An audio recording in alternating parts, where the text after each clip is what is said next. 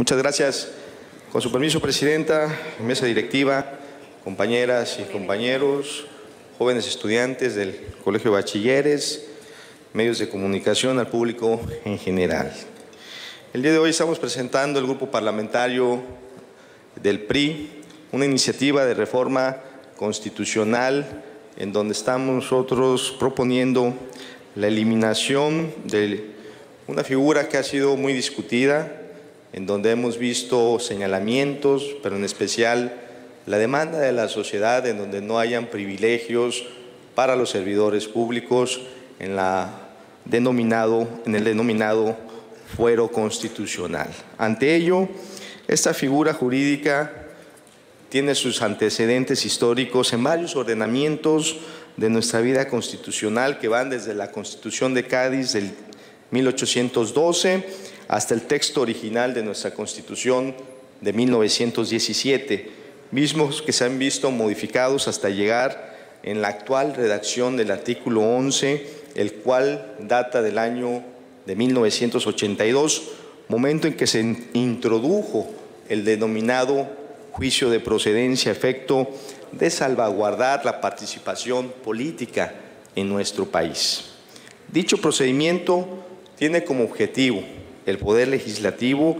califique hechos presumiblemente constitutivos de delito cometidos por servidores públicos a efecto de que la autoridad competente quede en aptitud de iniciar el procedimiento penal aplicable, separándolo del cargo y sometiéndolo al juez en la causa correspondiente. En este orden de ideas, el presidente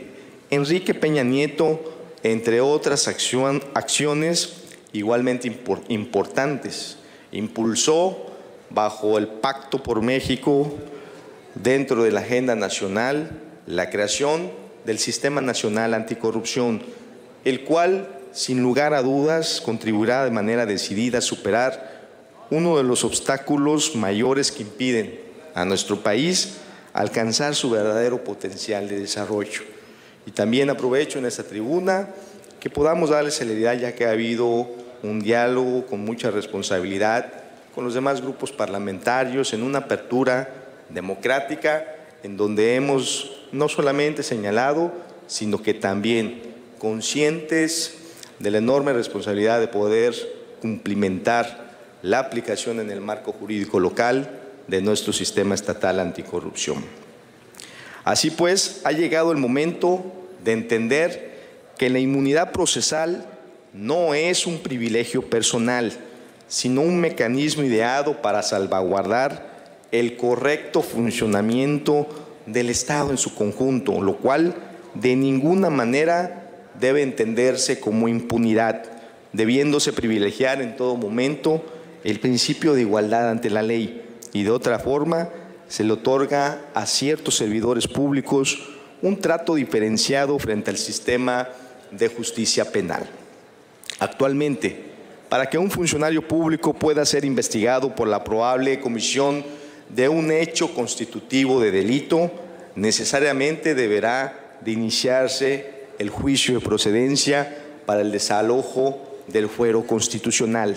lo cual tiene para efecto retirar del cargo a la persona, situación que en la práctica en buenos casos equivale a actuar impune en, algunas, en algunos casos de violaciones a los derechos humanos que contribuyen a generar la percepción de impunidad en causas penales de alta exposición mediática, tal y como sobre el particular acertadamente concluye el informe de la Comisión Interamericana de Derechos Humanos sobre la situación prevaleciente en nuestro país. La Declaración Universal de los Derechos Humanos establece que todos los seres humanos nacen libres e iguales en dignidad y derechos, sin distinción alguna derivada de su condición política, jurídica o internacional del país o territorio que cuya jurisdicción dependa. En virtud de lo cual, los suscritos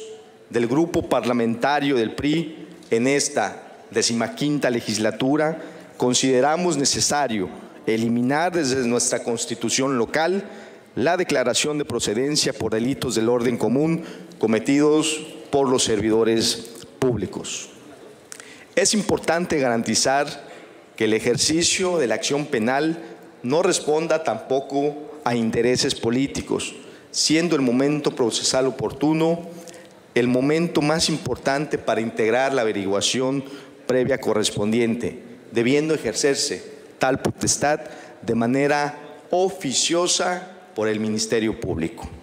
En virtud de lo anteriormente planteado, en un acto de congruencia, de madurez y de responsabilidad política, los integrantes del grupo parlamentario del Partido Revolucionario Institucional, a efecto de eliminar el juicio de procedencia, nos permitimos someter a la consideración de esta honorable asamblea. Y para ello es muy importante también que podamos hacer un ejercicio en donde exista un amplio debate ciudadano en el que en los próximos días convocaremos a la sociedad organizada en su conjunto, a las universidades, a los colegios en licenciatura en Derecho, a presentar sus propuestas sobre el tema con la intención de lograr un nuevo texto constitucional que permita lograr una verdadera igualdad procesal entre todos los ciudadanos para al mismo tiempo salvaguardar la gobernabilidad democrática, el cual estriba en la esencia fundamental de esta propuesta en la que todos los grupos parlamentarios coincidimos en lo general, pero que habrá que afinar en lo particular. Es cuanto, Presidenta. Muchas gracias.